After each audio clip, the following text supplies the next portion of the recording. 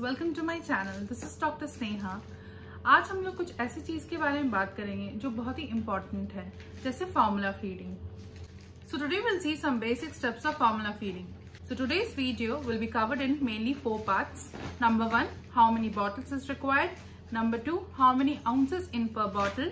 Number three, how to mix the formula properly. And number four, overfeeding and spitting up. So let's get started. Most babies who are less than 3 kgs feed more frequently at their first weeks. So altogether, they covers around 6 to 10 times a day. Some newborns usually starts feeding properly after 3 to 4 days. If this is happening with your baby, please don't get stressed about it. It is only the matter of time of their wakefulness. So now I'll be discussing the number of feeds in a day. So starting from first week to first one month of the baby, the baby feeds around 6 to 7 times a day And from the first to second month, the duration goes little bit more longer and so the baby feeds around 5 to 7 times a day. And in the third to sixth month, the feeding time goes up to 4 to 6 times a day, giving a duration of about 3 hours in between. Now we'll discuss about how much in each bottle. Start करें 100 M से अगर उसके बाद भी लगे कि आपकी baby hungry है and he is giving cues of hunger then आप फिर भी 20 एम ऐड करें उसके साथ पहले मंथ में अगर आपका बेबी अराउंड 3.2 पॉइंट है तो उसको अराउंड 600 हंड्रेड का मिल्क पूरा 24 फोर आवर्स में चाहिए होता है। एंड वही अगर आपका बच्चा अराउंड 3.6 पॉइंट है तो ही में require around 700 hundred per 24 four hours remember just one thing all babies are different सबका एपेटाइट अलग होता है। किसी किसी week they will have more and some weeks they will be fussy and they will reject the milk and they will have less so please be patient towards it. Don't force it. Now coming to the concentration of mixing of the milk so concentration of formula to the powder बहुत ही important है क्योंकि अगर आप वो ज़्यादा concentrated बना दो then it will be very much harmful to the baby because उसको कॉन्स्टिपेशन होने लगेगा सेम चीज़ अप्लाई होता है अगर आप कम पाउडर लेते हो तब आप तब आप मिल्क का जो न्यूट्रिशनल वैल्यूज़ है, उसको आप प्रोड्यूस कर दे रहे हो एंड बेबी को ज़्यादा से ज़्यादा वाटर दे रहे हो। So again that is also equally harmful to your babies so manufacturer ने जैसा इंस्ट्रक्शन दिया है, आप पर्टिकुलरली उसे वैसे ही मिक्स करें।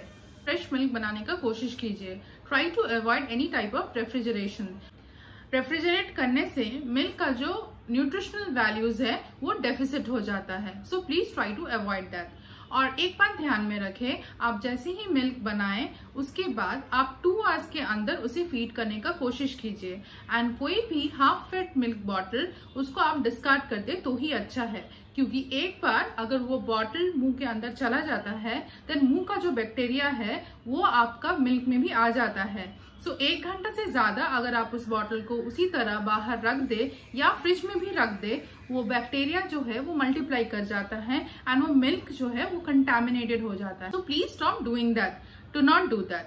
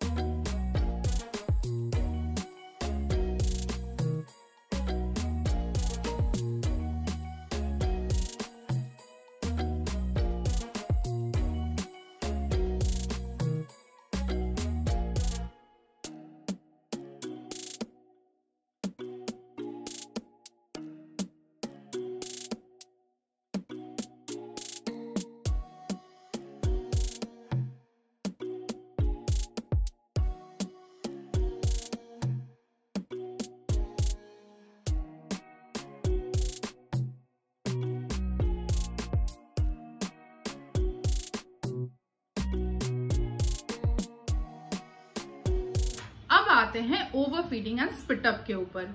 Any baby who is taking more than 700 ml of milk is using the bottle as a comforter, not a nutritional one. He is using it as a pacifier so ये बात आपको समझनी पड़ेगी और उसी टाइम आपको feeding रोकनी चाहिए। मैंने आपको जो चार्ट पहले बोला है according to the birth weight आप उसे फॉलो कीजिए। Please do not over feed the baby क्योंकि जैसे ही आप ओवर फ़ीड करोगे बेबी को बेबी स्पिटअप ज़्यादा करेगा। baby will also induce more and more amount of vomiting. So please take care of it.